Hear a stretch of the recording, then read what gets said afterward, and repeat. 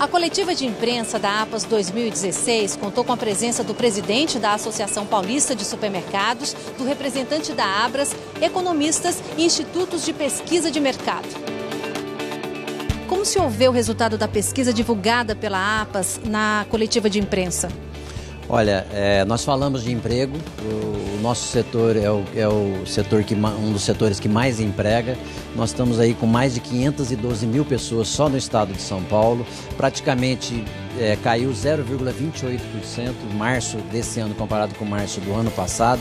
Quer dizer, com toda essa crise, o setor supermercadista praticamente manteve o, o emprego. Né?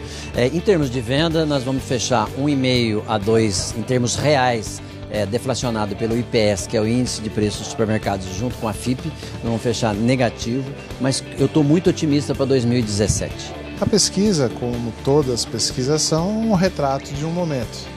E no Brasil é duro você tirar retratos, era melhor fazer um filme, né, para a gente ter, ter uma ideia melhor do contexto, porque a, a rapidez das mudanças, das novidades, é, costumo dizer, é difícil fazer previsão no Brasil quando você tem uma lava-jato ditando a pauta, é, a pauta até de, das decisões políticas. Né? Então, mas é um momento que está passando.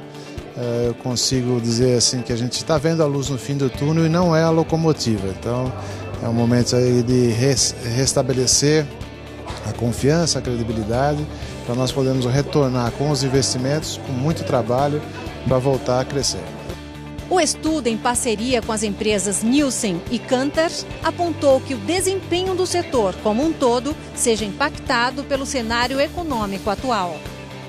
Nós temos alguns desafios aí para o ano de 2016, que é recuperar um pouco das vendas uh, que nós perdemos ao longo de 2015 e não será nada fácil, porque a expectativa é novamente de um ano de queda para o setor supermercadista que, que o setor pretende fazer, né? Quais os desafios que pretende superar?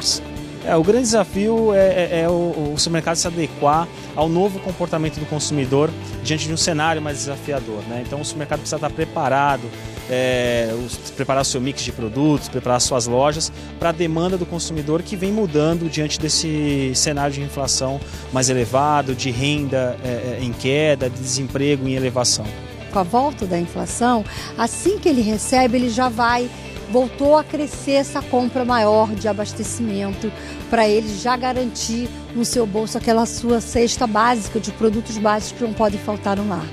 Então ele já vai no começo do mês já tem essa, essa gasto maior nessa cesta básica dele, vamos dizer assim, e com isso ele vai se permitir, vai gastar mais nesse, nessa compra de abastecimento e vai menos vezes, então, por causa disso. Outros canais ele vai frequentar para uma reposição ou com um benefício claro de faltou algum produto ou eu vou ter uma necessidade específica, aí ele vai ter essas compras mais esporádicas, mas a compra de abastecimento é que voltou a ganhar mais importância. No momento de grandes desafios para o setor, a alimentação saudável é a grande oportunidade, segundo a pesquisa divulgada pela APAS 2016. Independente da crise, esse é um movimento que a gente vem observando, já é um movimento, uma tendência muito mais consistente. A gente observa, por exemplo, uma, toca, uma troca do pão, de um pão industrializado para um pão integral, uh, iogurtes, que a categoria em si já demonstra um movimento mais saudável, apesar de ter desacelerado um pouco esse ano. Ele segue em crescimento. É, um movimento, por exemplo, a retração de refrigerantes é bem consistente. A gente observa anos após ano é, a categoria de iogurtes perdendo volume e em crescimento, em detrimento de categorias como água de coco, suco, são categorias com apelo mais saudável. São alguns exemplos desse movimento de saudabilidade. Mas o consumidor não abre mão de suas conquistas. Mesmo diante dos desafios na economia, não querem deixar de comprar produtos premium como cervejas. Para isso, procuram economizar adquirindo produtos mais baratos de outras categorias, como de limpeza.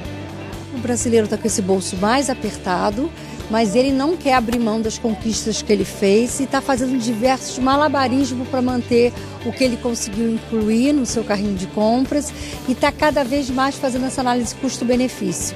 Que benefício eu vou ter determinado produto e aí ele está racionalizando cada vez mais e convivendo com marcas de diversos setores, segmentos, tanto a marca mais premium quanto a marca mais barata, em momentos diferentes de consumo.